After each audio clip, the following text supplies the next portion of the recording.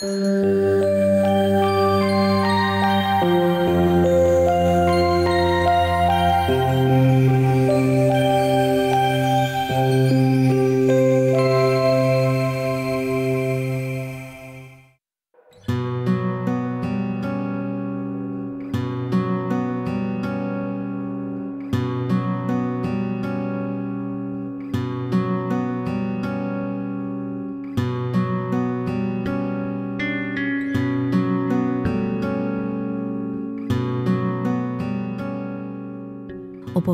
merge singură prin sălile marilor expoziții. Horea Paștina, la Iași, a venit cu transparențele lui metafizice, cu uriașele suprafețe de lapte și ivoriu. Am întâlnit artistul sfios încărcat de tăcere, ca de ninsoare, învelit în tăcere ca în pieptărașul lui de lână netoarsă. Horea Paștina, la Iași, ne-a făcut un fel de mărturisire în alb despre prieteni, familie, țară, libertate – despre cum lumina lină, lin lumină, despre acasă, despre departe, despre munții, apuseni și toate celelalte culori care compun omul și artistul. S-a arătat un pic umbrit de sfiiciune, omul de subsemnătură, Horea Paștina, un portret evanescent, în pace și discreție, acum în rama televizorului nostru gălăgios, un strop de pace și de lumină lină.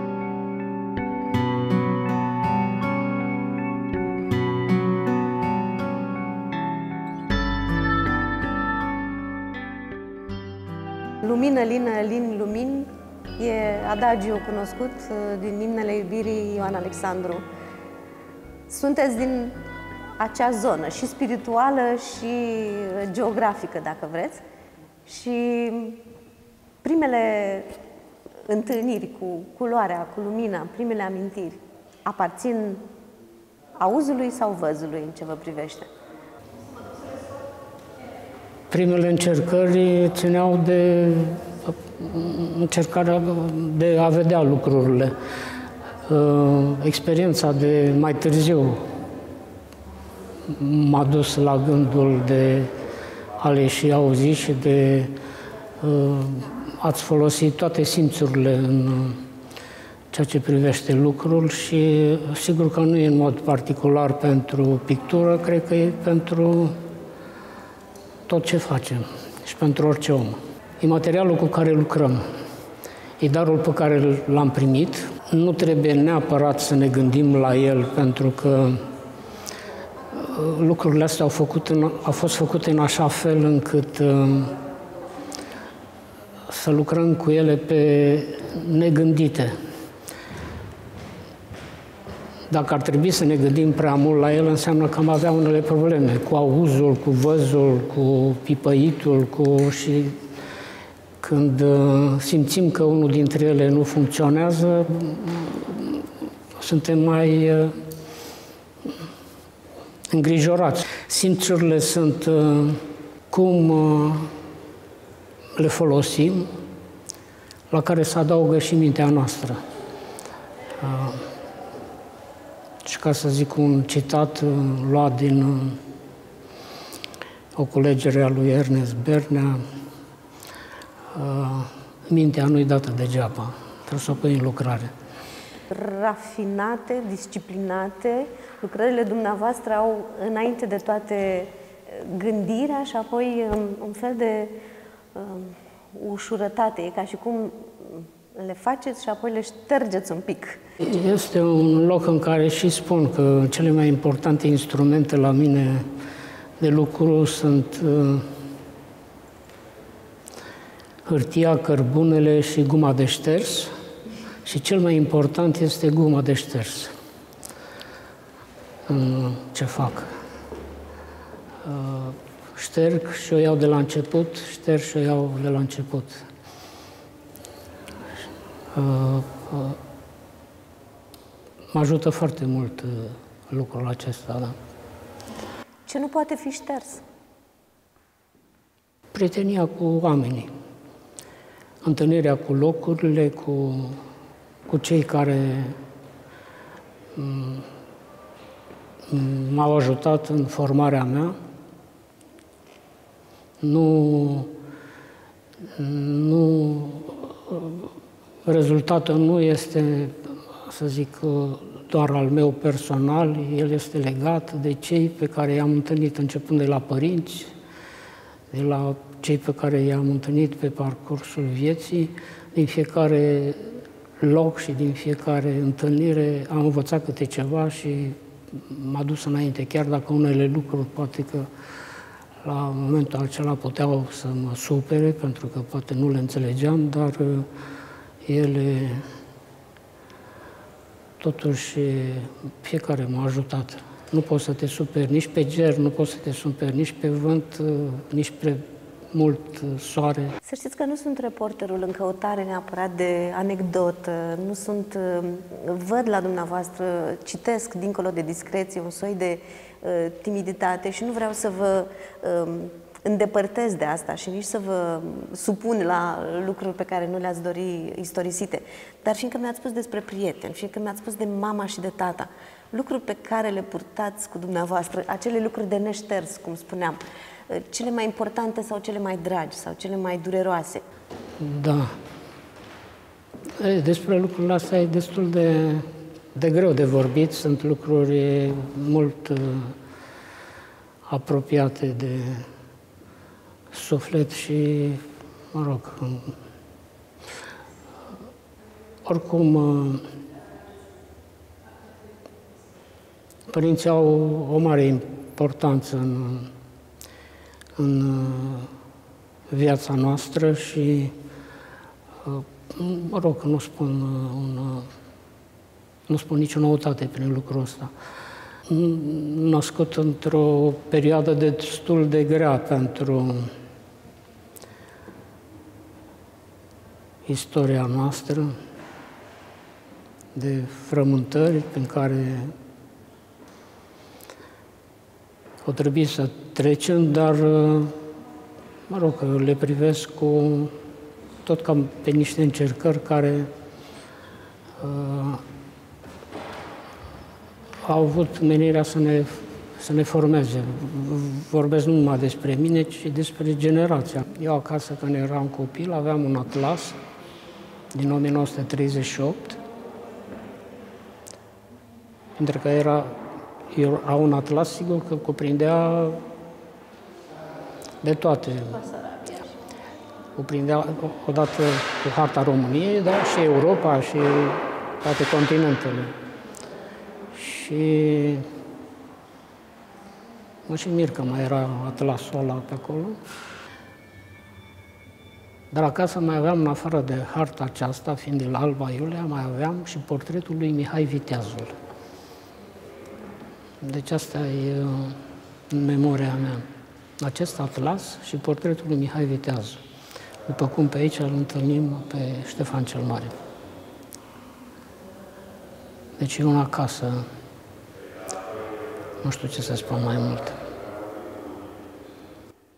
Eu mai aveam încă trei frați mai mari decât mine, care la o diferență destul de serioasă. Cel următorul după mine mai mare era cu 9, următorul cu 12 și celălalt cu 16. Ei erau, ei erau deja plecați în lume și sigur că uh, am avut o mică perioadă în care ne-am întâlnit, ei deja erau plecați și le duceam dorul. Și Sigur, greutățile timpului care au fost, na, și au fost nu numai ale mele, ale țării întregi. A țării întregi, da. Uh, am, fost, am fost o țară pusă la încercare.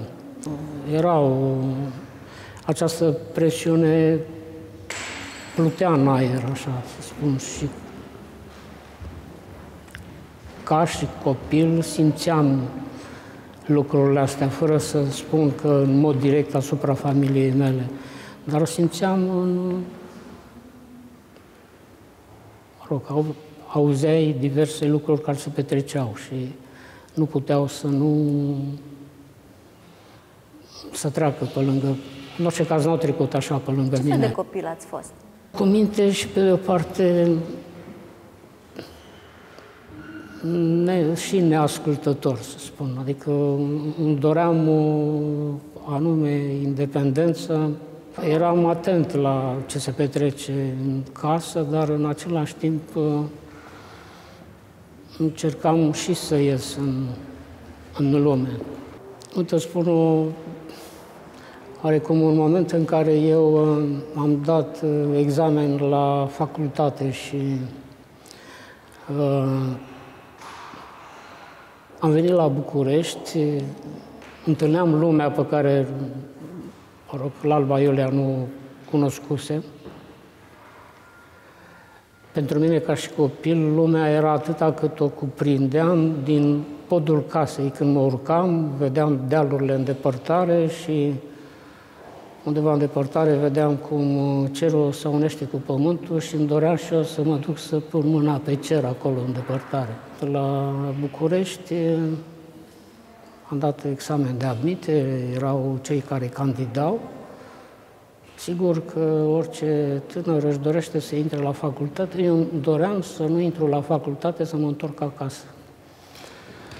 Și asta s-a și întâmplat. Am dat de vreo câte ori admitere până am intrat la facultate.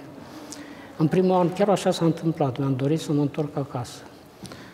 Și, mă rog, nu era așa mare lucru să împlinească lucrul ăsta, pentru că un examen la arte era dificil, erau foarte mulți pe un loc și după vreo câteva examene de admitere am intrat și s-a potrivit ca în anul în care am intrat să se potrivească ca profesor să l-am pe Alexandru Ciucurencu.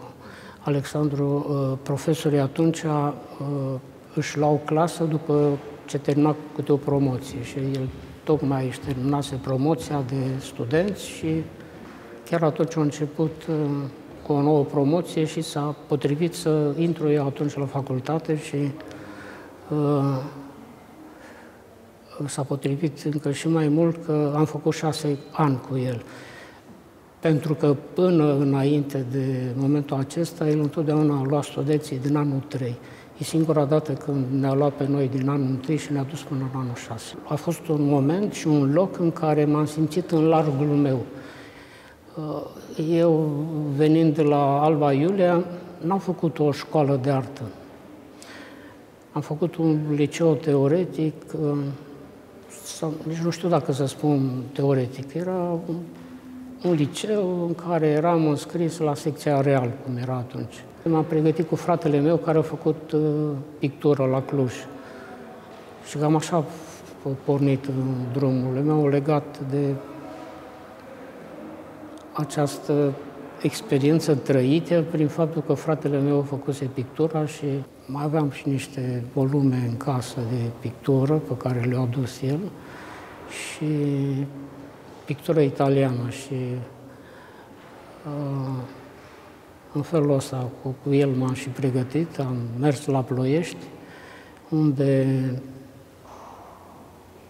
era el profesor și m-am pregătit uh, cu el uh, până am intrat la facultate. Și acolo am întâlnit uh, Muzeul de Artă. Și aici am întâlnit pictorii români de care, mă rog, au rămas la inima mea și acum, uite, sunt bucuros că sunt și aici la Iași. Și întâlnesc parte din pictorii pe care i-am întâlnit și la Ploiești. Și sunt foarte bucuros că sunt în această vecinătate, că într-un fel că chiar sunt legat sufletește de, de ei. Era un om simplu, casnică, foarte harnică. Creștea flori dintre astea desenate din... Creștea flori în grădină, da. A fost odată un moment în care era foarte bolnavă și era îngrijorată de florile care erau acolo și știu că am venit acasă și ea mai ieșea cu flori în piață și că am ieșit să rezolv eu această problemă în locul ei. Dar eram uh, deja absolvent de facultate și nu așa ca să îi fac o bucurie. Mă întorc la florile din grădina casei părintești, acelea îngrijite de mama. Ehm, florile sunt foarte mari, pâinea e foarte mare în uh, lucrările dumneavoastră. Um, ulcica, uh, sunt toate hipertrofiate cumva. Da, nu știu ce să spun, că sunt lucruri cu care poate că vin așa în timp, uh, dar uh, sunt lucruri cu care mă întâlnesc chiar în... Poate că ține și de experiența pe care am dobândit-o între timp. Sunt și lucrurile mai de demult, dar sunt și experiența da, legată de meseria pe care o fac, de modul de a observa lucrurile, de a le asculta, de a le pipăi, de a le mirosi, de a le gusta, de a le auzi. Uh, am avut uh, și am sentimentul de prietenie față de Ion Alexandru. Uh, nu pot să spun că m-am întâlnit mult cu el. L-am urmărit, terminasem facultatea și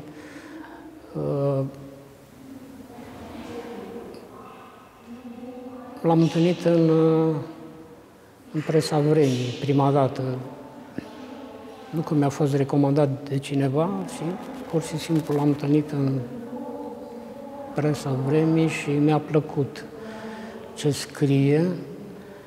Ținea niște cursuri la universitate. Am încercat să aflu unde ține aceste cursuri și după un timp am aflat și am mers la cursurile lui. Și Mă rog, acolo am întâlnit alți prieteni, de pildă pe Costel Nicolescu, l-am întâlnit pe Mihai Sărbulescu și aș putea zice că a fost un leant Ion Alexandru, fără ca el neapărat să știe de lucrul acesta. Adică I-am cunoscut pe ei și pe urmă am mai cunoscut încă alții cu care ne-am împrietenit și acum suntem prieteni de o viață așa. Iar prin Costion Nicolescu am ajuns la Părintele Dumitru Stăniloae. Lucrurile astea au avut un, un anume curs în viața mea. Ca viață personală, orarul meu este legat de, spun așa, de calendarul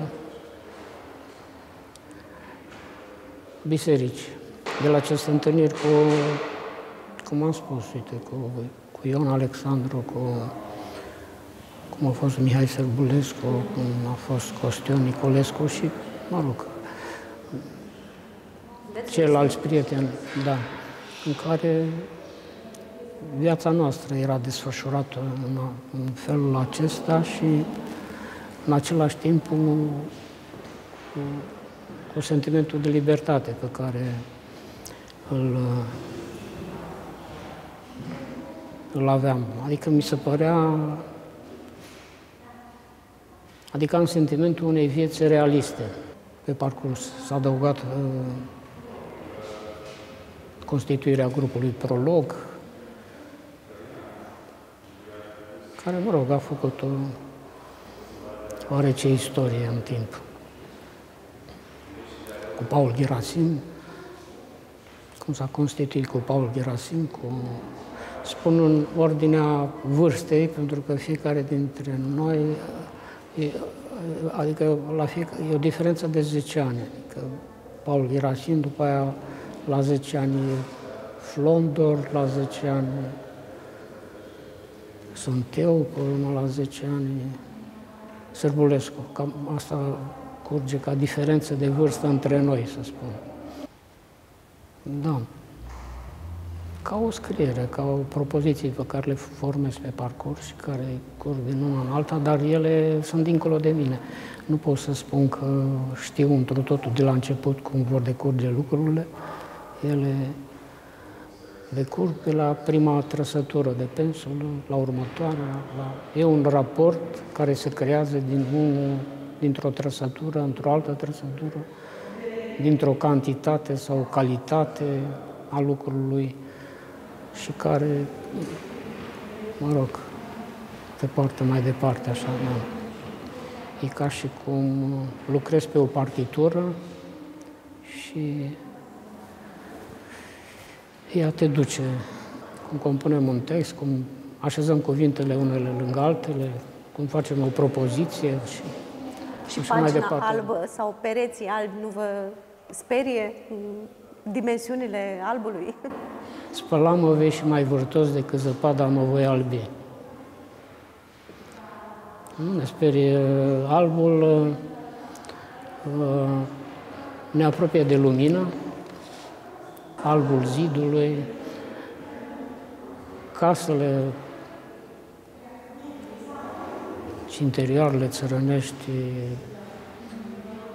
cu albul varului, îmbrăcămintea țăranilor în hainele lor albe.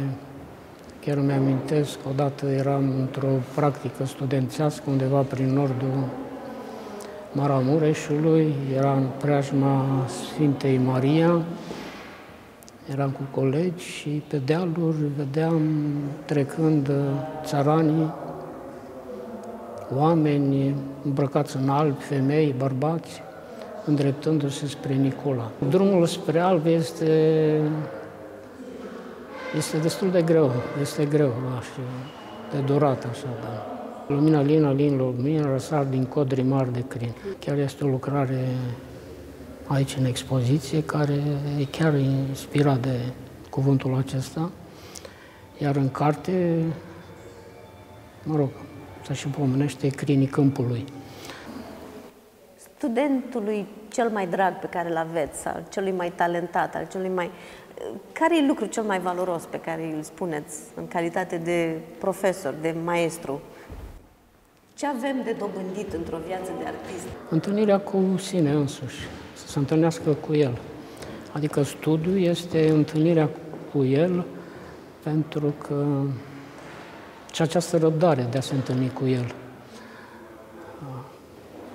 Și acest lucru nu poți să-l afli decât prin întâlnirea cu ceilalți. Afli despre tine prin ceilalți, nu afli doar tu despre tine izolat de ceilalți, nu m-am legat de ceilalți. Tipul de raport care se creează și un cuvânt foarte important, raportul pe care îl ai, raportul al tău și cu ceilalți. Și în felul ăsta trebuie să-l cunoști și pe celălalt ca să te cunoști și pe tine și în raportul tău pe care îl ai tu față de ceilalți. Și uh, e, un, uh, e un lucru pe care nu se termină niciodată. E un lucru pe care îl ai toată viața de făcut și aici e și frumusețea vieții și uh, e bine că nu se termină. Pentru că este viață și sigur că ne dorim ca viața să nu se termină. Nu iubim moartea, iubim viața. Thank you.